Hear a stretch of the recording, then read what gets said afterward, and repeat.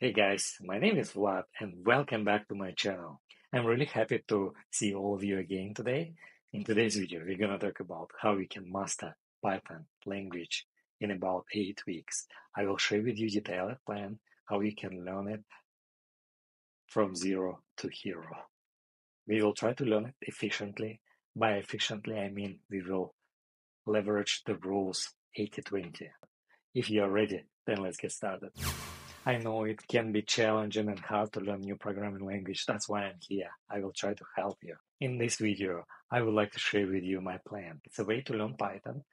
In about eight weeks, we will watch videos, we will read articles, and we will do different exercises. Exercises are very important because the best way to learn is by doing. That's why we need to do a lot of exercise during our learning. I've created this plan for people who don't have a lot of time. So you need about 30 till 50 minutes a day, but you should be consistent. In my plan, I use 80-20 principle, which will help you to learn the most important thing first. And the rest we can improve with practice. If you will watch this video till the end, I will share with you learning tracking sheet that you can use to track your progress.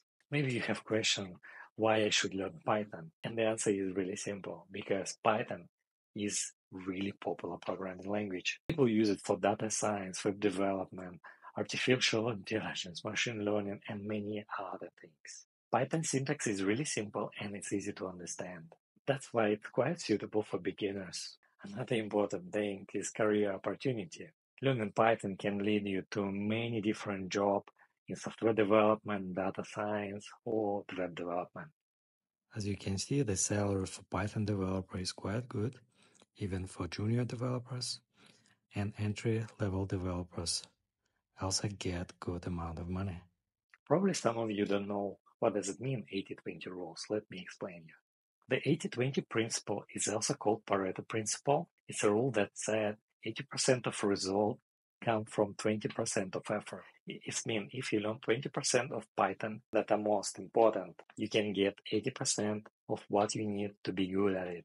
It means instead of trying to learn everything, we will leverage the most important 20% of the language.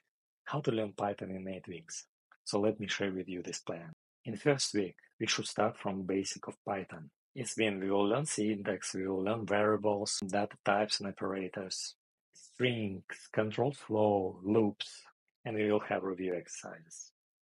In week number two, we're going to learn data structure. In this week, you will learn lists, dictionaries, tuples, sets, functions, models, and at the end, we will have again exercise. In week number three, we will have advanced data structure. We will explore dictionaries and set comprehensions, file handling, JSON, and again, consolidate your learning with exercises. In week number four, we are going to learn functions and error handling. You will have deeper understanding of functions. You will learn Lambda functions. Also, we will cover, also we will cover error handling model, packages, and apply all those concepts in intermediate model. In week number five, we will dive into data science. We will focus on manipulation and visualizations. And at the end, you will have data analysis project. And in the week number six, probably it's the coolest one. You will learn web development and you will learn Flask. You will learn how to build web application using Flask.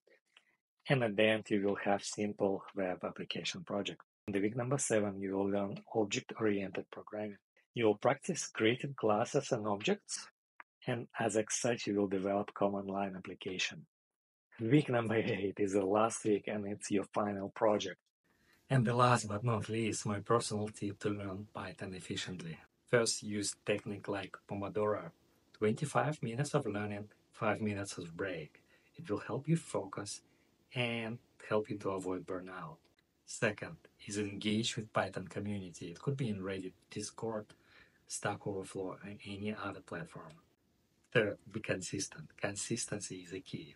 Even if it's just 30 minutes a day, do it daily and don't fail. And the last thing, practice every day. Practice is really important. If you want to get detailed plan with the link to free resources where you can learn all of that things, please look at the link below this video. Also, for all of you who watch this video till the end, I prepare the tracking sheet file that you can use to track your progress. You also can download it from the link that I provide below this video. And that's it. I hope you like this video. If you liked it, please click like.